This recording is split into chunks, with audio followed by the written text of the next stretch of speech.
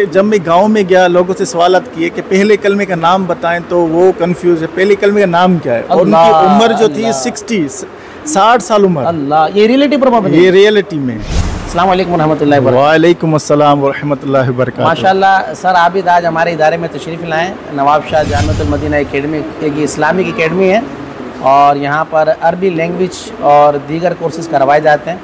Sir Abid ने भी अपनी उम्र का कुछ हिस्सा यहाँ पर माशाल्लाह टीचिंग की है और आज इन्होंने मुलाकात का हमें शरफ बख्शा है। सर के हम बहुत शुक्र गुजार हैं सर। बहुत बहुत शुक्रिया आप तशरीफ़ लेकर आए। माशाल्लाह और इसी के साथ सर का माशा एक यूट्यूब चैनल भी है आबिद हुसैन के के के नाम से। तो एक तो मैं आपको गुजारिश करूँगा कि आप सर के चैनल को आप सब्सक्राइब करें।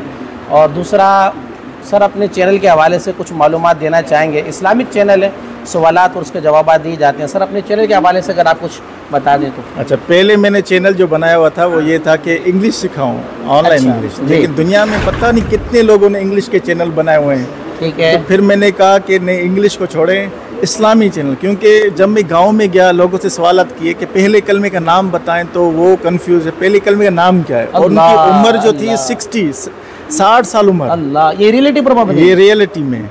तो मैंने उनको याद करवाया पहले फिर उनसे सवाल पूछा फिर भूल गए। अल्लाह तो यानी ऐसी हालत है गाँव में ना गुसल का पता ना वज़ू का पता फिर मैंने कहा कि नहीं इसी को कंटिन्यू करते हैं अल्लाह की रज़ा के लिए इसमें इंशाल्लाह सवाब भी मिलेगा ताकि लोगों को इस्लामी मालूम तो इसमें एक अपनी एक्टिविटी भी है और एक इस्लामी मालूम भी है। लोग यूट्यूब के ऊपर बहुत सारी चीज़ों को देख रहे होते हैं सर्च कर रहे होते हैं। अगर आपकी एक मिनट की या आधे मिनट की वीडियो से किसी को दीनी मालूम हो जाती है फ़ायदा हो जाता है तो ज़ाहिर आपके लिए सदका जारी है। बिल्कुल बिल्कुल। जब तक ये अभी ये वीडियो फॉर एवर यूट्यूब पर रहेंगी। जी। हमारे इंतकाल के बाद भी ये लोग इससे सवाब हासिल करते रहे इल्म हासिल कर सदका जारिया है।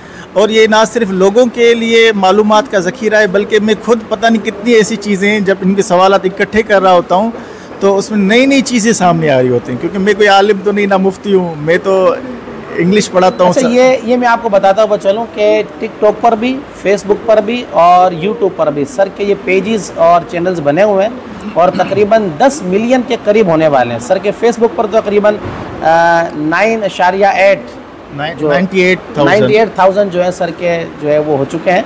तो आप इसको लाइक भी करें। दूसरा ये कि बहुत से लोग कुछ खाने के बनाते हैं कुछ सैर व सयाहत की वीडियोस और व्लॉग बनाते हैं और कुछ इसके अलावा अपनी ज़ाती अपने घरेलू जो चीज़ें होती हैं वो शेयर कर रही होती हैं। हालाँकि ये चीज़ नहीं करनी चाहिए क्योंकि घरेलू जो चीज़ होती है सर वो अपनी प्राइवेसी होती है। प्राइवेसी को आजकल लोग फ़ेमस होने के लिए अपनी फैमिलीज़ को औरतों को जो जिनको पर्दा करवाने हुक्म है नहीं पर्दा नहीं करवाते औरतों को लेकर आ रहे हैं। सिर्फ़ इस वजह से ताकि व्यूज़ आए।